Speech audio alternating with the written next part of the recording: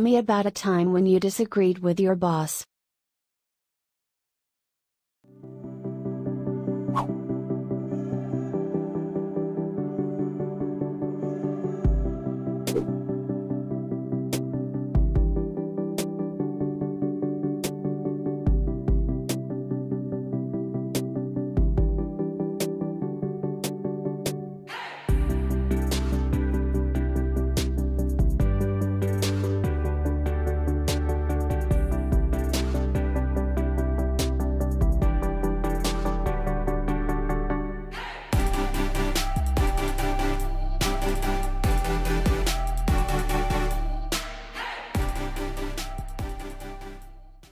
I think it's normal to have some kind of disagreements with the boss.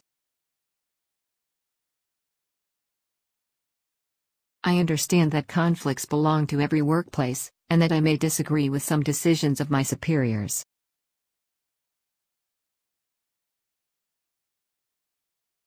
I think that we should tell them our opinion, explain our reasoning, but at the end they should decide, because it's their responsibility.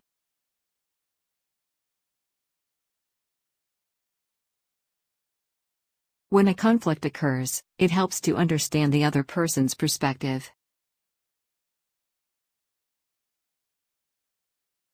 I've always got along with my boss, but I had small disagreements that needed to be resolved. For example,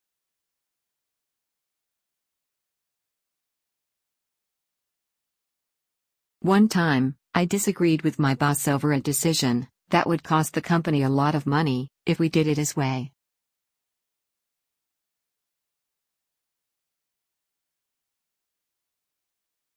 I came up with a solution that ultimately saved the company a lot of money.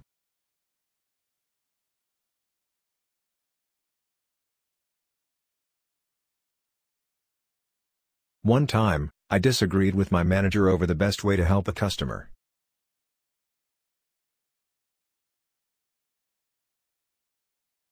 I respectfully expressed my opinion about how I thought we could better handle the situation.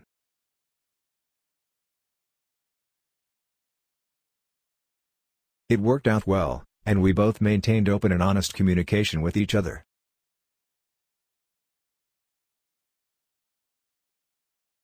We had great relationship, and any disagreements were minor and unimportant.